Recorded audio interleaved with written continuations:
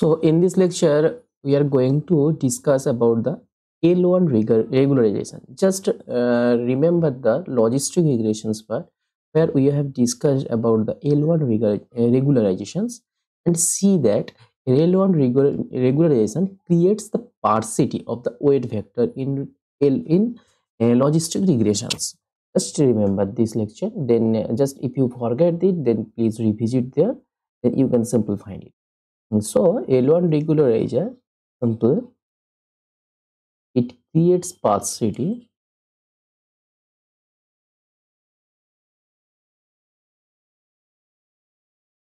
in our weight vector that is w okay as compared to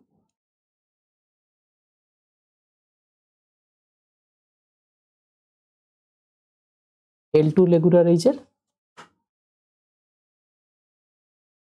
okay we have already seen this this case we have already commented we had already discussed this but um, uh, there we have not proved it so uh, we see that L1 regularizer creates the more sparsity as compared to W. We have used this concept, but in this lecture we have proved it. Why our L1 regularizer creates the more sparsity than L2 regularizer. Okay, so uh, I'm just again I am just going to remember you that sparsity means what? Sparsity means more of Wi's are zero. So simply sparsity means more of Wj's are 0 this is the simple meaning of sparsity. Okay. Mm, let let our w we have our d-dimensional features. In our data sets we have d-dimensional features so w will be like this w1 w2 w3 dot dot dot dot up to wd and it belongs to d-dimensional feature d-dimensional rd now just compare side by side L1 regularizer and L2 regularizer. Then I think it will be clear all of you. So first uh, in this side we are taking L2 regularizer and in this side we are taking L1 regularizer. Just divided these two portions.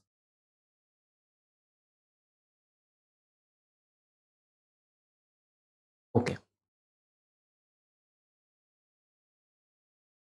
so first uh, let this is our w let first let also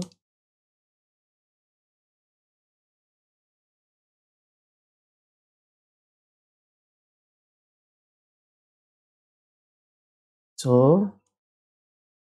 okay let's let's let's see this okay this is our l2 regularizer this side we are taking l2 regularizer this side we are taking the L1 regularizer. So first write down what we are used in L2 regularizer. What is what is our optimal equations? So in L2 regularizations we are using the minimum of our simple it is our logistic loss simple it is a loss functions. You just recall this this is our loss functions. Plus here we are using our hyperparameter lambda plus L2 regularizer. This one. And in this side all the things are same but here simple here we are using L1 regularizer. Or here hyperparameter plus inside in this side we are taking the L1 regularizer so just in both sides you have seen that loss functions are same and uh, lambda. Lambda is also a constant term. Lambda is simple also a constant term. So easily we can easily omit these two terms. We cannot disc we cannot taking these terms as our discussion. Just in both sides we are comparing w2 normalizer this term and these terms. So now we see how this term behaves. Okay? So this time this uh, terms means what? These terms mean minimum of w. Again we have discussed that w is our a vector of d dimensional so simple instead of written w here i am we have written w1 w2 up to w d. Similarly here also instead of writing w wd okay here w2 square means what? W2 square means w1 square w2 square wd square. This this thing is actually means this okay simple i am using the component and just simply calculated it. And here this thing means what?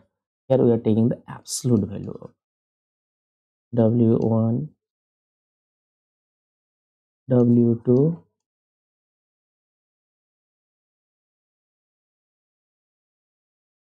wt okay? So to take all the d terms here we are simply taking single term easy for easy of our calculations for taking all the term here simple we are just taking the single term okay? For simplicity for simplicity here we are using simple this term. So if we taking the simple term then what will be our equations? Minimum of w1 of w1 square let let for l2 regularizer we call it l2 of w1 and it will be what? Minimum of w1 mod of w1 so let in this side it will be our l1 regularizer of w1 term. So these are the scalar stuff but here it is the vector. Here L2 W means vector, but we are taking the single first component for easier for simplicity of our calculations. So this is a scalar term. Okay. Simple. Don't be confused of this. This is simple now. This is a scalar term. Okay. Now let's just now let's see only the two things now draw now just draw this picture side by side. What is it? Are all do and simply here is our L1 just first draw this.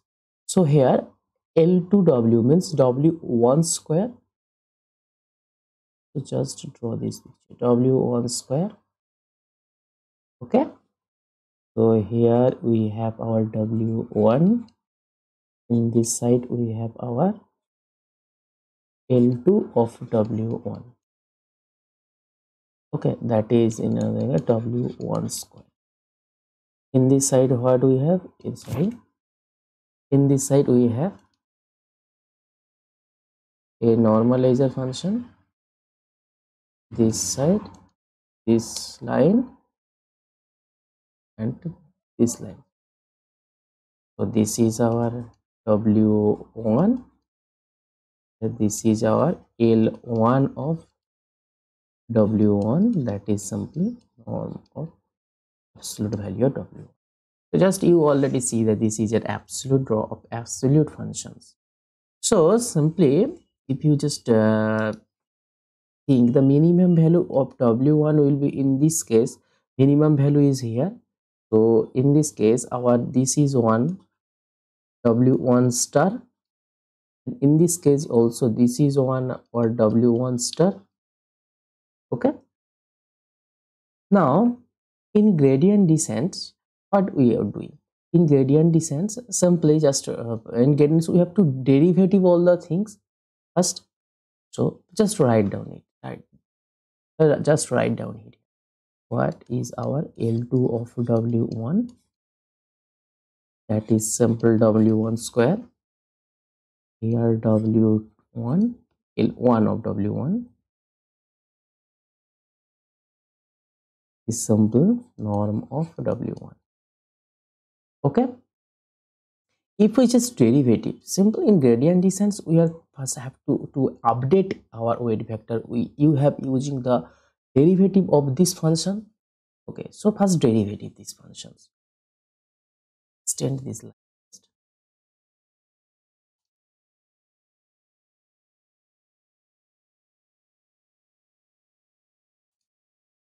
So first derivative this function so what will be the derivative of w l2 with respect to w1 this thing is 2w1 and what will this del of l1 with respect to w1 is what?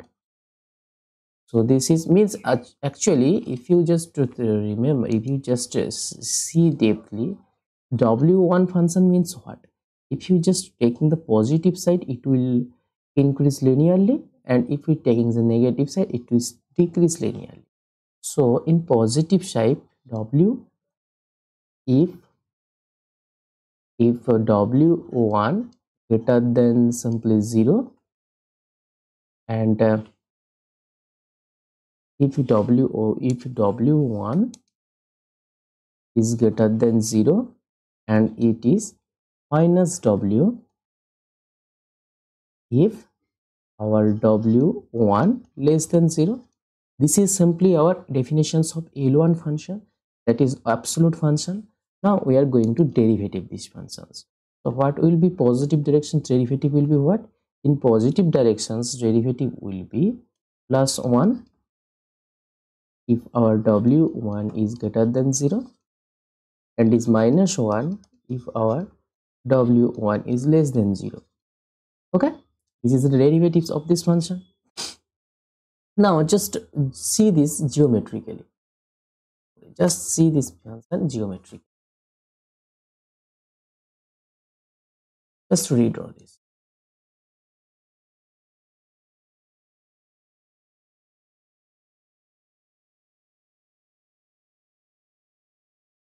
Okay. So what will be the 2w1 2w1 functions will be like these functions. Okay. okay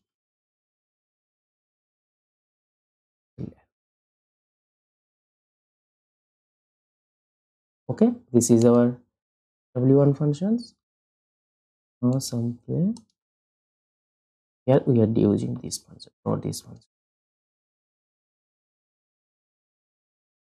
So here our functions will be plus 1 in positive directions and minus 1 in negative direction. So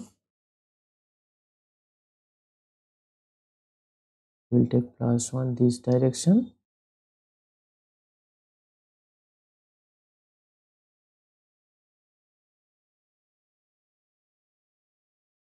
and uh, also it takes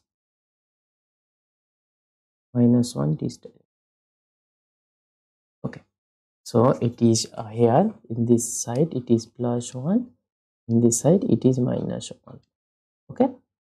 So this is the simple geometrical view of these two derivatives.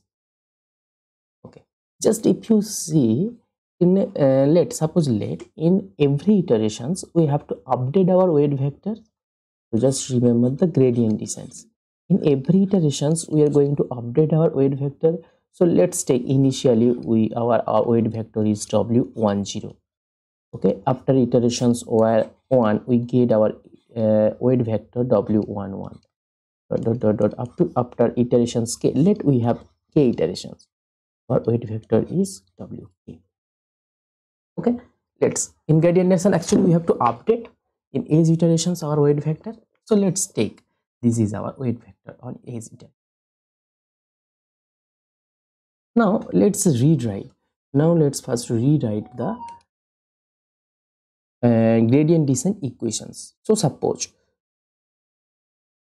suppose we are writing this after jth iterations. So after jth iterations are calculated z plus 1 weight vector is equals to what? W1j minus some step steps or learning rate r into del of L2 of W1 at which point? At W1 jth point and simply here everything is okay just we have using here another derivative. Here W1j plus 1 is equals to what? Is equals to w1j minus our learning rate. Into here we are taking l1 regularizer divided by w1 at w1j okay? Now just see this thing geometrically. Suppose let's take here we are taking only consider our wj's in positive direction. Suppose let's take here i am not considering here. For some time let's take i mean considering our w in negative. Just for simplicity let's assume oh, it's uh, considering a w positive. So it is same calculations as positive and also negative. So let's take let our wj is positive. Let w1j is positive. Then what will happen? Let's see. So these equations now updated by at w1 j plus 1 is equals to w1j minus r into 2 w1j and here what? Here w1 j plus 1 is equals to w1j minus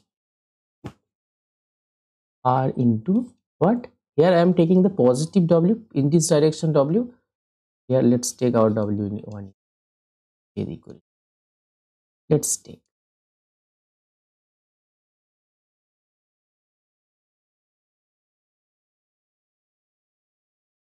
So here our it will be one. So let's take and just if you think our learning rate learning rate lecture. In this series of lectures just to revisit the learning rate then you can see that when our iteration increases when our iterations increases then our learning rates decreases. It is depend on this. In iterations chapters we have seen that we have seen already this. So Suppose here in this case in j iterations our learning rate is very very let our learning rate is very very small. So let our learning rate is very very small.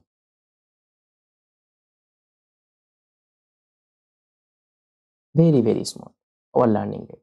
Suppose let let or in this case uh, we have taken our learning rate is 0 0.01 okay suppose let let we have taken is a very small number and also if you see and led also led and and when just see this picture.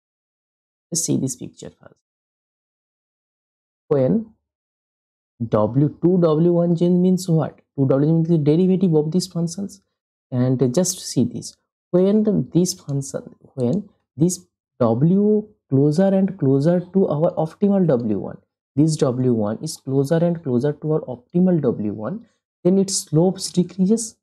Just as we discuss and see this case in previous lectures okay when our w1 tends closer and closer to w w star w star so here w1 star it is its slopes decreases. So in this case it's also a small value. In this case it will also it will also be a small value.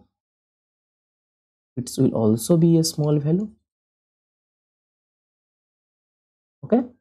suppose let in this case also let our j after j iteration w1j will be 0 0.05 okay? Suppose let so now we are coming to this. If you just consider these two terms only. If you just consider these two terms only we are multiplying to some between two small number so multiplying between two small number will be a very very small number. Two small number is also a very very small number. Okay. So if you just consider this thing, if you just consider this thing, so what will be after the value of multiplication value of wj dash 1? So our w 1 j plus 1 value will be what so this will be w1j that is 0 0.05 minus 2 into r will be what? 0 0.01 into 0 0.005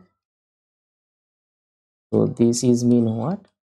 0 0.05 minus just if you simply multiplying these two things you will get this thing if you just multiply this thing then you will get 0 0.00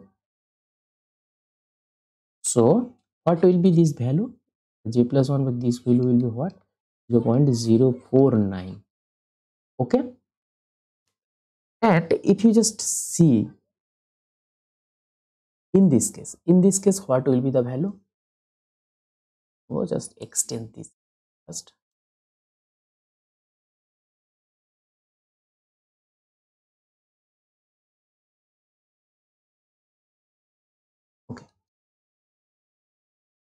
so in this case what will be our wj plus 1 value? So in this case our w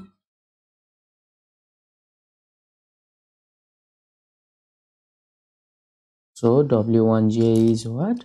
If we take the l1 regularizer 0 0.05 minus r is what here? Here we are not taking only only uh, here actually here derivative is only one because we are using our l1 regularizer so r is what? R is simply 0 0.01 so what will be the value here? So simple if you take this value will be 0 0.04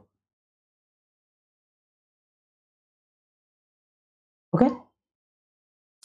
Just compare the after z after z iterations so this value this value smaller. L1 regularizer value is smaller than l2 regularizer okay.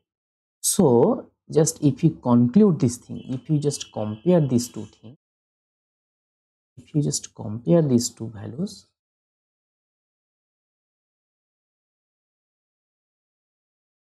if you just compare these two values so what will compare? So after jth iteration after jth iterations w1g plus 1 of L1 regularizer value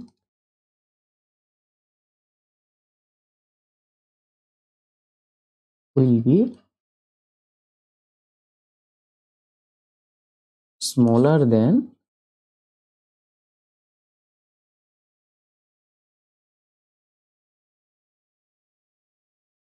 of L2 regularizer value. Simple. So if you just write this thing in mathematically when i our increases as iteration increases then the value of L1 regularizer less than just value of W1 of L1 regularizer is less than value of W1 of L2 regularizer. As it iteration increases just we see this thing. So just write this thing so our L2 regularizer does not change the value of W1 from one iteration to another iterations but L1 regulators continue continue to constantly reduce what's W1 so L2 regularizer just I am rewrite this thing. Just I am discussing this thing. And generally I am read this thing L2 regularizer does not change does not change the value of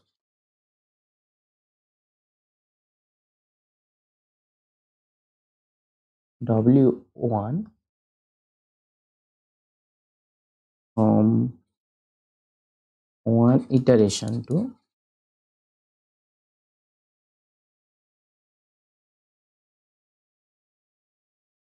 another iteration very quickly simply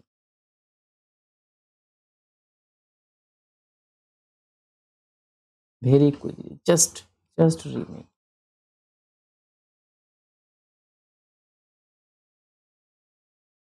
but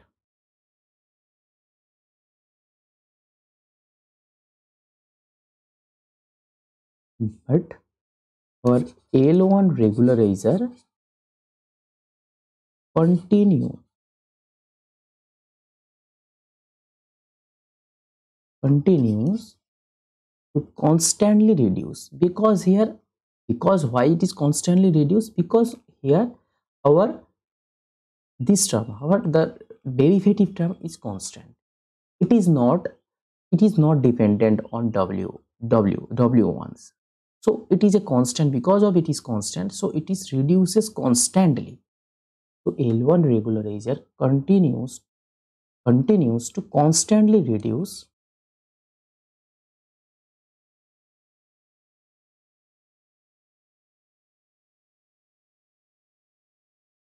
reduces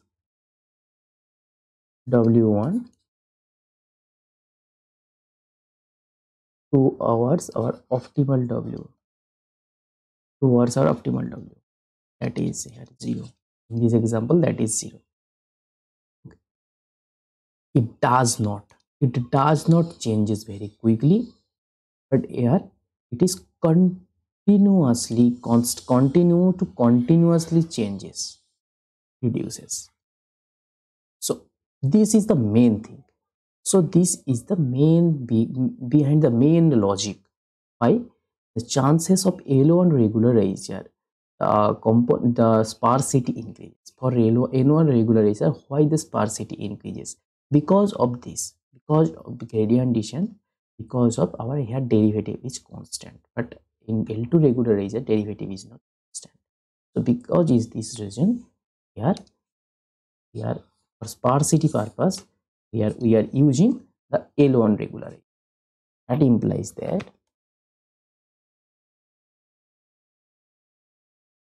chances that implies that chances that w1 equals to 0 are equals to are more prone.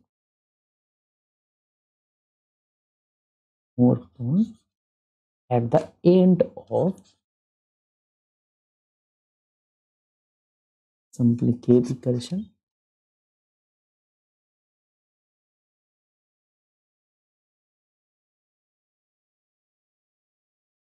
okay? I think why l1 regularizer creates sparsity of our features vector for our uh, for our w for our weight vectors. So i think this idea is now clear. So simple. It is because of we are for updating our weight vector we are using gradient descent technique. We are if you okay using the gradient descent technique and in gradient descent technique we are using the derivative of our um, of our functions loss functions simply of our functions optimization functions. So in optimization functions we see that in l1 regularizer our derivative is constant but in l2 regularizer our derivative is not constant.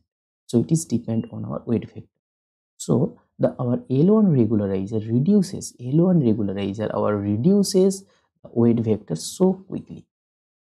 Okay reduces so quickly that L1 regularizer. So for this only for this reason L1 regularizer creates more sparsity than L2 regular. This is one interpretation why a L1 regularizer creates more sparsity and so there have also many many interpretations of why it is this is one of the inter one interpretations and also i'm just seeing this interpretation geometrically I think this idea is clear why L1 regularizer creates more sparsity than L2 regularizer. Okay?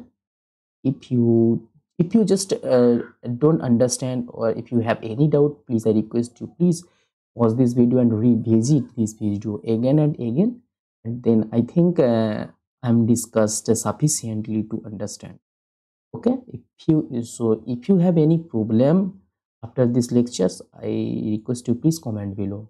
Then i am again also i am making a video about this matter